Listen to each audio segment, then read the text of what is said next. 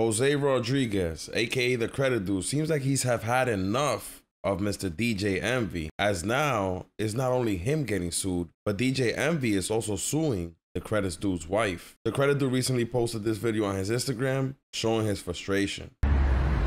Yo, what's up, guys? So a lot of people are asking me what the fuck is going on with all this shit with me and Envy, right? So I've been speak. I was speaking to seminars since December of 2018, the real estate seminars that they had, right? I'm speaking, I'm speaking, I'm speaking. You know, letting everybody know what's going on with the credit. You know, uh, giving education and things like that. Thinking like it's a legit platform. Thinking that everything is is, is cool, right? Boom. So one day Cesar invites me to his office and says, Hey, bro, how many clients you have? I let him know how many clients I have. He's like, Damn, so that many clients times X amount a month. He's like, Damn, bro, your business is doing pretty good. I'm like, Yeah, bro, we've been putting in work. You know, you guys, I've been speaking on stage. You know, we've been, we've been in business, you know, 10 years, 11 years, whatever the case is. Only charging people if we get items deleted. And then uh, a week later, his assistant, uh, Benz, approaches me and says, Hey, uh, Envy wants to be an owner of your business. And I'm like, well, what does that even mean? Like, and I'm like, oh shit, like DJ Envy wants to be a part of my business. DJ Envy wants to partner with me. I'm like, what does that look like? He's like, well, he doesn't want to pay anything, but he wants to come into your business as a 25% owner and pretty much continue helping you, you know, with your business. I'm like, okay, well, what does that look like? He's like, well, we're going to promote you here. We're going to do this, put you on the breakfast club, which come to find out, that shit is payola on his end because I was paying him to uh, not realizing it to be on the radio, right? And he's like, oh, we're gonna blow your business up. We're gonna do this. We're gonna do that. We're gonna fucking take your business to the next level. Meanwhile, I'm already growing, you know, whatever the case is. As soon as we signed the contract, September 2020, this motherfucker acting like it, it, it, he, he can't fucking promote me, right? I'm like, bro, I thought it was a part of the deal for you to promote me, for you to do this one post here or there, one post here or there, one post here or there, post here, post there. And I'm like, yo, bro, like, what's going on, man? Like, I thought you were supposed to, you know, let people know that we're in business with this. And he's like, I don't got to do that shit. I thought you don't, I don't think you remember the agreement we had. I don't care about your company. Uh, and I'm like, yeah, bro, but you're promoting Cesar. You're promoting the weed business. You're doing this, you're doing that. And you know Cesar isn't, you know, doing this. Cause that's when I also found out that he, that, so that's when Cesar uh, scammed me May uh, I invested with him May of 2022. August of 2022, I realized and found out that he would he got me for the 150. So then I'm like, well, how come you're promoting Cesar more than me? How, and you know he got me, and you still not promoting me. And that's when me and him got in a fucking argument. That's when he made that fucking audio clip that he made EYL, that he made Matt, that he made fucking me. Man, fuck that bitch, yo. You ain't make shit. Motherfucker gonna sit here and say he made EYL. He gonna sit here and take credit for EYL. He gonna sit here and say that he he he made Matt the mortgage guy. He gonna sit here and say he made Got Credit and made the credit dude. Motherfucker, you can't even make your wife come.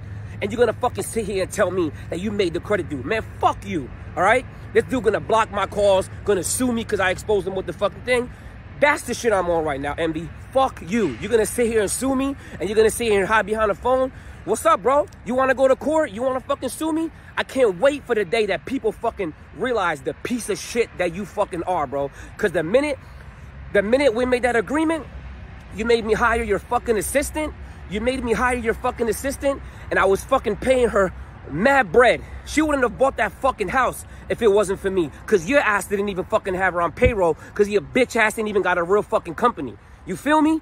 You feel me? With your fake ass fucking DJ auto, your fake ass car show, whatever the fuck you doing with that whack ass car show, right? So then as soon as I fire her for not doing shit, you get fucking mad and you clearly even fucking told me you were upset, right? So since everybody wants to hide and everybody nobody wants to fucking talk about what the fuck is really going on, I, I fucking made you an owner. Listen, you said you made the credit dude. Motherfucker, don't forget, I made you a fucking owner in my business, right? And you want to sit here and tell people, oh, oh, credit dude crazy. Credit dude got this. Credit dude got that. I'm owning this business. Motherfucker, you telling people behind closed doors you, you're a part of my business, motherfucker? You wish you can be Got Credit, motherfucker. You wish you can be Got Credit. You ain't shit. You ain't shit. Got Credit was here before you, motherfucker. You ain't make me. You ain't make me. You know what I mean? And I hope somebody shows you this fucking video, bitch gonna sit here and tell me you fucking made got credit and I wouldn't be where I'm at. Motherfucker, worry about your own shit. Worry about your own family. You sit here telling Tyrese, knowing he got mental problems and mental, you know, uh, mental going on, you're gonna sit here and tell him you're gonna box him in the mouth. Know that shit. I wish you would have said that to you when you was fucking going through your shit with your wife. You know, you want to sue my wife when Kelly ain't got nothing to do with this. You want to include her in the lawsuit. You want to include everybody else. But you say you ain't pointing fingers at yourself, you pussy. You fucking bitch. You know what I mean? You want to hide behind a fucking radio and you don't want to face this shit like a man. That's the fucking problem, bro. Everybody thinks DJ Envy. Man, fuck a DJ Envy, bro. Fucking DJ Shrimp. Wonder why you changed your name to DJ Shrimp, bro. It was all in your book, motherfucker. You made a book about you not being able to make your wife come. Sounds about right, bitch.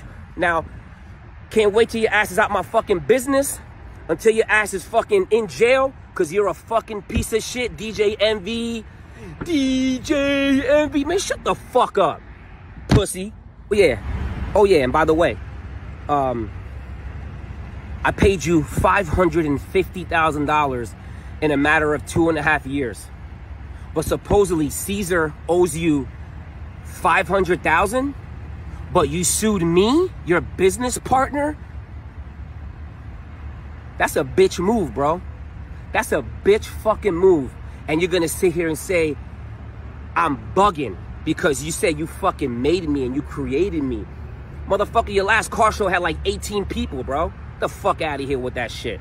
Now, credit, I'm gonna be honest with you. The reason why DJ Envy probably hasn't sued Cesar at this point is because Cesar's probably not the guy that he wants to have on his bad side at this point. I don't think DJ Envy wants Cesar saying that DJ Envy had any knowledge of anything that Cesar had going on. If you ask me, Cesar's probably getting a little percentage off of this deal that DJ Envy and the credit do have because if it wasn't for Cesar, DJ Envy would have never known of how many people were signed up to the credit dude's program and how much money he was bringing in yearly. I mean, let's be honest. The only reason why DJ Envy's assistant made that phone call is because DJ Envy probably did the numbers and said, man, I could just become a business partner of this guy's business without investing a single dollar and make a quarter million dollars a year while I do nothing. Now, the crazy thing is that DJ Envy did use his influence and the radio station to help orchestrate this deal by telling the credit dude that he was going to promote him. Well, according to the credit dude, from what he said in a previous video, in the fine print of the contract, DJ Envy put that he may promote his business, not that he actually had to. But he still brought the credit dude up to the to the Breakfast Club and actually charged him, according to the credit dude. So if DJ Envy charged the credit dude to bring him up to the Breakfast Club to promote his business, weren't they supposed to let the audience know that that was paid advertisement? Get him out of here! I'm gonna be honest with you, man. This situation is just getting more interesting and interesting, man. I'm gonna keep you guys updated, man. Peace.